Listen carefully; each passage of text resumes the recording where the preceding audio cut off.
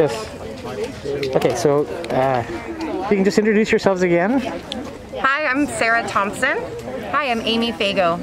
and you live in the neighborhood. We do. We live right um, right next to this proposed house. Can you tell me about how you found out about the situation? Um, I heard about it late at night news station um, and was completely shocked and couldn't sleep for the rest of the night. And then immediately the next morning, texted my neighbor.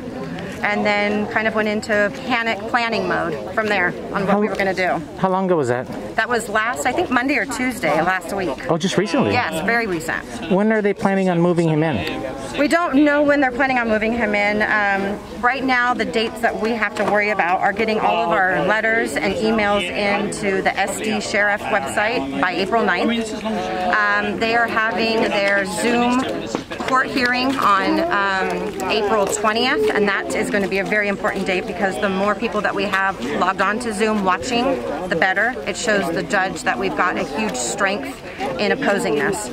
Um, so I don't know when the planning of moving in, but we've also now learned too that there's going to be another SVP placed in that home, which we discovered on Friday, and um, it's a large house. His so- hearing's May 10th, yeah. so it's going to be one Right. after another. That's our fear.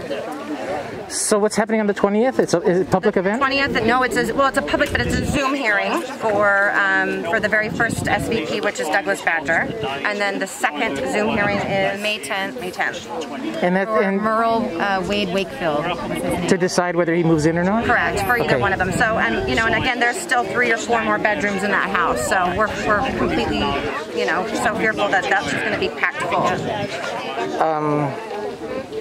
I'm so- trying to think. Sorry. Uh, They're diagnosed as sexually violent predators, which is completely different, or you know, much more um, uh, harmful than the, than a regular sex offender. It means that they have been diagnosed likely to reoffend by the Department of Health and also by the DA. Because of the mental illness, Badger specifically has schizophrenia and sexual sadism, so he's considered high risk and likely to reoffend.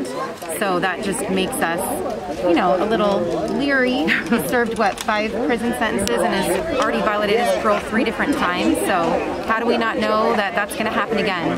We don't want that to be one of our children. so what can the public do? The public needs to write their letters. They need to send emails. They need to To whom? The, to SD Safe Sheriff. Um, if you go to the um, Grossmont Mount Helix Association website, gmia.net, they have a bunch of information on how you can help. Um, and um, you know, we can also give you a spreadsheet or a, a checklist of all the different steps that we're asking everyone to help us, you know, to go down and help us with. And they have to do this soon because the hearing's on the April 20th. 9th. Is the deadline. April 9th to them, so three Yeah. days. Three Yes. days. So we're really just pushing your forward right now. Very good. This Can happen in any neighborhood. Do you all have children? Yes, I have three. And I have one, so yes. They all yeah. play right here in this cul-de-sac. Okay. In the house, how far is it from here? Literally less than 0.2 miles. A couple houses down. A couple houses down the street, so Okay. it's scary. Thank you very much for letting me talk to you. so much.